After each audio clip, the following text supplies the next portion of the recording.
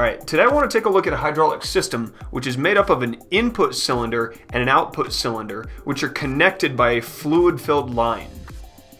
Now each cylinder has a moving piston which can move up and down within the cylinder and on one side of that piston there's confined fluid.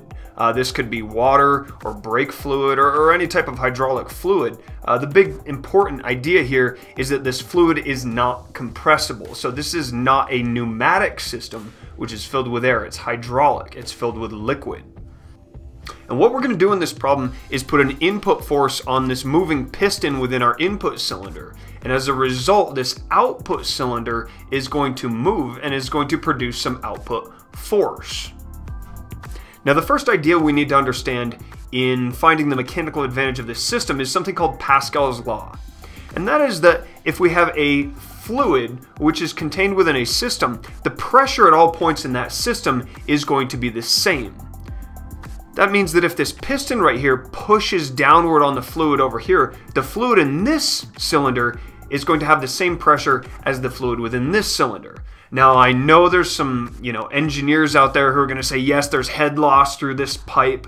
I can think of at least one, but you know, in this problem, we're just going to keep this simple. We're going to say Pascal's law applies and there is no head loss or friction within this pipe or in any of these cylinders.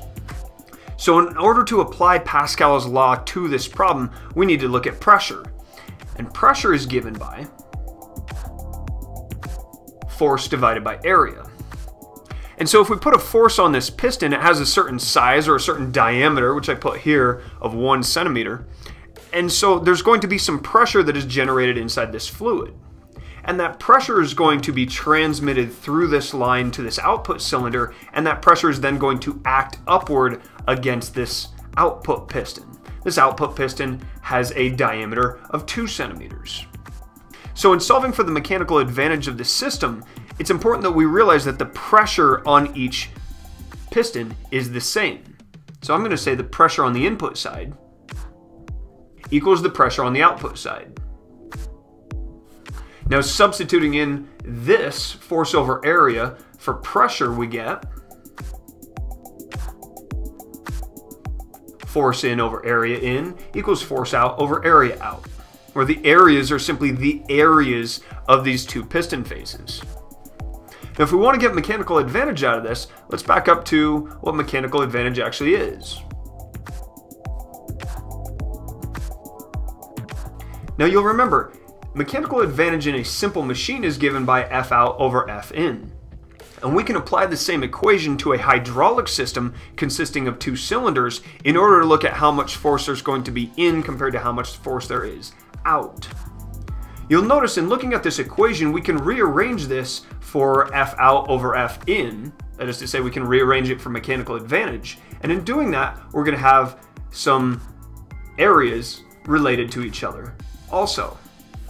So in moving this over here and this area out over here, what we'll get is the mechanical advantage in a hydraulic system like this is given by this equation, the area of the output piston divided by the area of the input piston.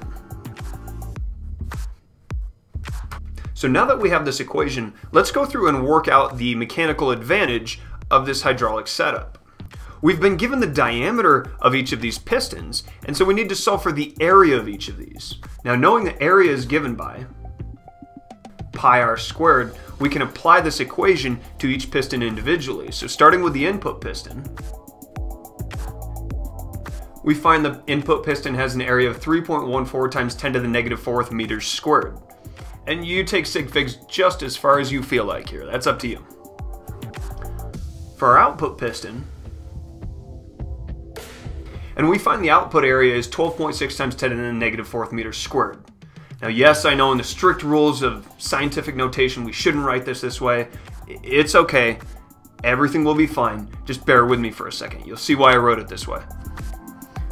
Using this equation, we know mechanical advantage is given by area out divided by area in. So that's going to be the 12.6 times 10 to the negative fourth over 3.14 times 10 to the negative fourth. and we find the mechanical advantage is 4. So now that we have the mechanical advantage of this system, let's put a known force on this input cylinder and see just how much force comes out. So if there's 20 newtons of input force on this piston, that's going to produce some pressure inside of this cylinder, uh, and that pressure is going to be transferred through this fluid to the output cylinder, and thus that pressure is going to act on this output piston. So, using a mechanical advantage of 4, we can now solve for our output force.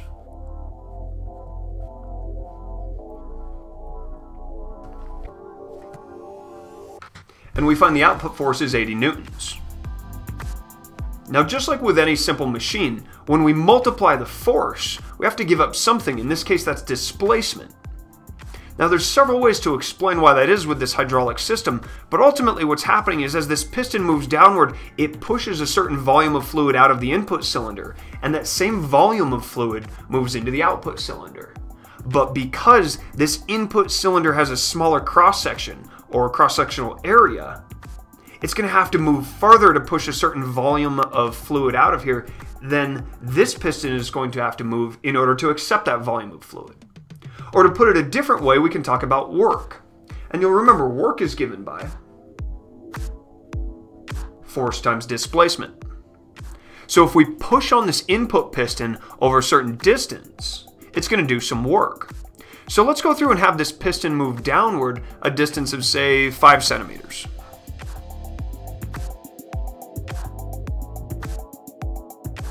So as this piston moves downward 5 centimeters, some work will be done. So the work done on the input side is going to be the input force, that's 20 newtons, multiplied by the input distance, or 0.05 meters. On the output side, this piston is going to move up. I want to solve for how far it's going to move. Now we know the output work, or the work done on the output piston is going to be the output force, that's 80 newtons, times the distance the output side is going to travel. We'll just call that d out. And I'll use capital D because we already used little d for diameter here. Now, if this is a perfect system and there's no frictional losses in this system from steel drag or head loss through the system, we're going to be able to say the input work is equal to the output work. Now, our work in works out to be exactly 1 joule. So I'm going to say this input work is 1 joule. And that's going to be equal to 80 newtons multiplied by our output displacement and we find the output displacement is 0.0125 meters. So ultimately what we've seen in this problem is that when we press on this input piston, it produces a pressure inside this fluid. And because of Pascal's law, that pressure is evenly transferred to this fluid in the output cylinder, which then pushes on this output piston. And as a result, we produce a mechanical advantage just like we would with a simple machine. And knowing the mechanical advantage, we can solve for both the output force and output distance for a hydraulic system like this. And on that note, that's all for now.